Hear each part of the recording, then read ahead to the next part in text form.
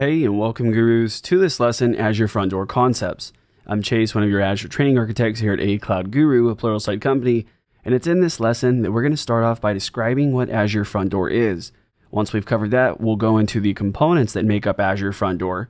We'll cover some Azure Front Door theory to help introduce us into understanding how Azure Front Door functions. We'll take a high level look at the Azure Front Door architecture then we're going to talk about the Azure Front Door SKUs that are available and the features they provide. And then we're going to wrap up this lesson with some key takeaways. So without further ado, let's start off describing Azure Front Door. Azure Front Door provides us high availability and acceleration across the globe, and it leverages Microsoft's global network to be able to provide us this load balancing using those edge locations that exist on Microsoft's backbone. Now, Web applications are the name of the game here. Azure Front Door is designed specifically for load balancing web applications at a global scale. So, whereas Application Gateway provides us web application load balancing at layer 7 at a regional scale, Azure Front Door is our global load balancing layer 7 solution. And another key feature of Azure Front Door is that it supports not just Azure services, but also those services on prem. So we can use Azure Front Door for global layer 7 load balancing in a hybrid network solution. And it also supports acceleration, caching, and security at the edge locations.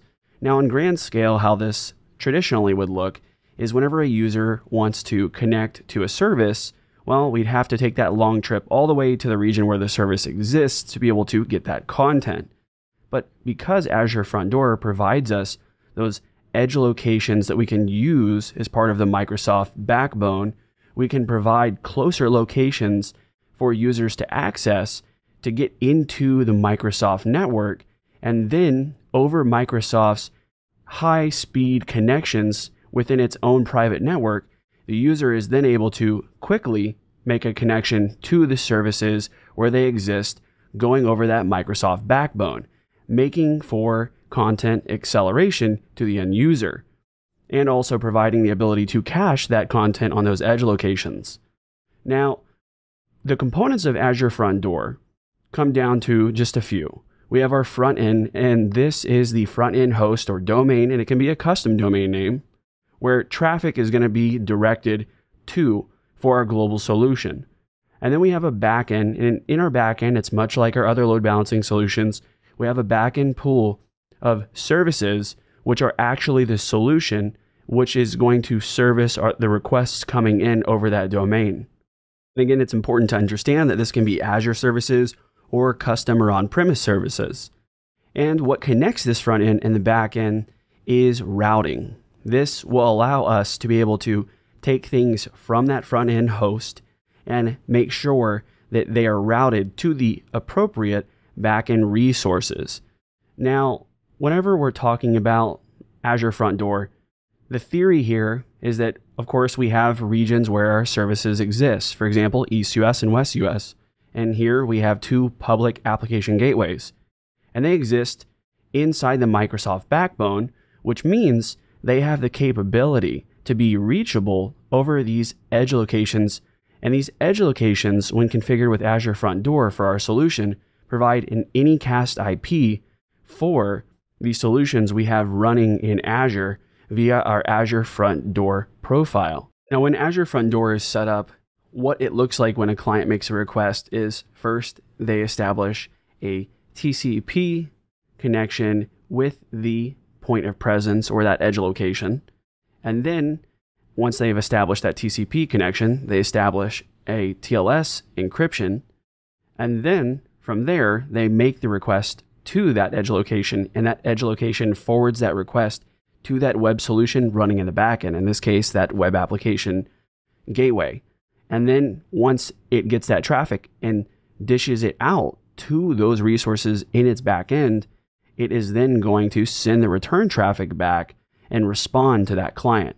Now, once it's done this, that content will be cached on that edge location so that if another user comes along and makes a request for the same content, well, it's going to be a much quicker response because it doesn't have to go all the way back to that web application gateway because it has cached that content on the edge location itself. These points of presence now have some of that content cached to be able to service requests more quickly in the future.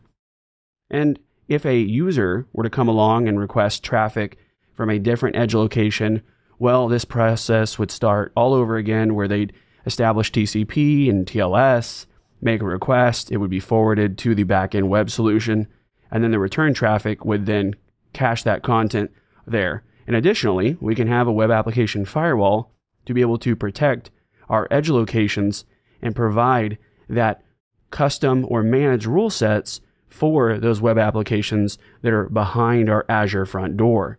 Now, for Azure front door's architecture, this is what it looks like here. We have our front end endpoints, we have our routes, and then we have our origin groups. These are our backend pools, our backend resources. And in those origin groups, we have origins, and these origins can be those resources that exist behind the web application gateway and its total web solution. So that application gateway and all the resources in its backend would be an origin in that origin group. And we could have multiple origin groups with one or more origins. And again, these can be Azure services or they can be on premise services, as long as we can reach out to them over a public IP. Now, then we have our front end. And the front end is going to be a provided Azure Front Door domain, such as x.azurefrontdoor.net. And we can add a custom domain to this using that mapping from that Azure Front Door and validate it with a custom domain. And we can have multiple domains, multiple front end endpoints here in our Azure Front Door profile.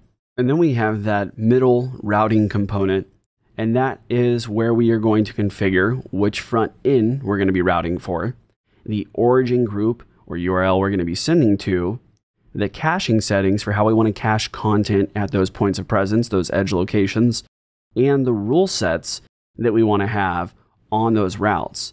And when we take traffic from those front end endpoints, we establish what accepted protocol we're going to use between the front end endpoint and the route. And then we're going to forward that traffic using whatever forwarded protocol we have set. So HTTP or HTTPS in this case. And once it's forwarded, it's going to get forwarded to the origin group and specifically the origins running those web solutions in its back end. And to quickly refer back to the accepted and forwarded protocol, what we're talking about here is when we are establishing TLS offloading or TLS termination in the front end using that accepted protocol. And then if we want to establish that end-to-end encryption, we do that with the forwarded protocol. So we could establish HTTPS all the way through. And like with all of our load balancing solutions, we have the ability to have a health probe so that we can determine whether or not those resources running in the back end, and in this case, origin groups, are healthy and able to service our traffic. Now, we can have multiple front end endpoints going to a single route where we can then route that traffic to one or more different origin groups. And then we also could have multiple routes doing the same thing, routing traffic from domain front end endpoints to those resources in our origin groups. Now, with Azure Front Door, we really have two SKUs here. We have the vanilla or classic V1 Azure front door that provides that global layer 7 load balancing for HTTP, HTTPS, and HTTP2. And it provides us that split TCP based Anycast IP protocol that we saw whenever we were going over the theory. And then it provides us the capability to have a health probe to check on our backend resources in the origin groups, URL path based routing, multi site hosting, cookie based affinity, SSL offloading, and certificate management to provide that TLS termination and the end to end encryption. And it also provides support for custom domain names instead of using those Azure front door provided domains. And it provides us functionality for URL rewrite and redirection. And then we have the standard and premium V2 SKUs. Now, these SKUs give us all the classic V1 features, plus it provides us CDN optimization and that's how we get that static and dynamic caching of content at the points of presence or edge locations. And it also provides us enhanced traffic analytics, and provides us the capabilities to have web application firewall custom rules for standard and premium v2 instances of Azure Front Door. Now, to show the differences between the standard and the premium v2, we really have to understand the key thing here is that static and dynamic caching of content when comparing it to classic v1 and those WAF custom rules.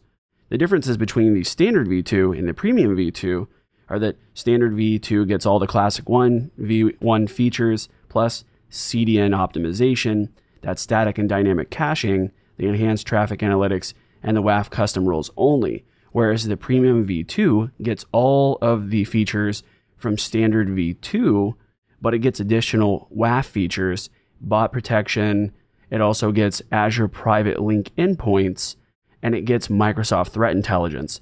So the key difference here is V1 is our vanilla, standard V2 is our CDN content caching optimized SKU. And then we have premium, which is our security focused SKU, providing those additional WAF features and Azure Private Link endpoints.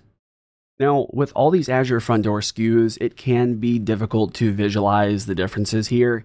So I'm going to show you this Microsoft documentation image here that clearly illustrates the key differences. And I apologize, the quality of the image it was difficult to get a high quality image of it. So you may have a difficult time reading the finer details on the bullet points if you're looking at this on a mobile device. However, the main thing I'm trying to illustrate here is that the Azure front door has that vanilla classic V1 SKU, and then it has the standard V2 and premium V2 SKUs, which are really just composite services of Azure CDN, Azure front door, and Azure Web Application Firewall and you see the difference between obviously the standard V2 and the premium V2 is either we have a delivery optimized solution or a security optimized solution. So now that we've got those SKUs covered, we're going to wrap up with our key takeaways here. Now, as always, when thinking about what we're going to select for our load balancing solution, we have to think about at what layer we're trying to load balance and whether or not we want to balance regionally or globally. And as we learned with Azure Load Balancer, we can balance at layer 4 regionally and globally.